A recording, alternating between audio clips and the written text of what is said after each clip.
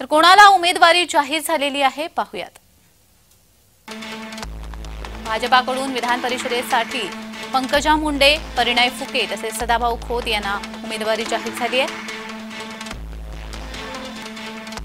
योगेश टिळेकर आणि अमित गोरखे यांना देखील भाजपाकडून विधान परिषदेसाठी उमेदवारी जाहीर झाली आहे.